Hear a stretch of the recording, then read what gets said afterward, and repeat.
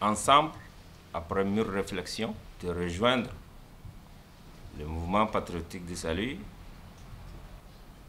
par rapport aux autres formations politiques.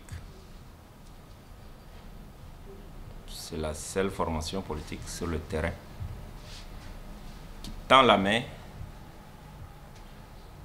à des nouveaux militants. Des anciens militants que nous sommes, des anciens membres du bureau, nous avons en toute conscience décidé de revenir dans la grande famille d'un PES.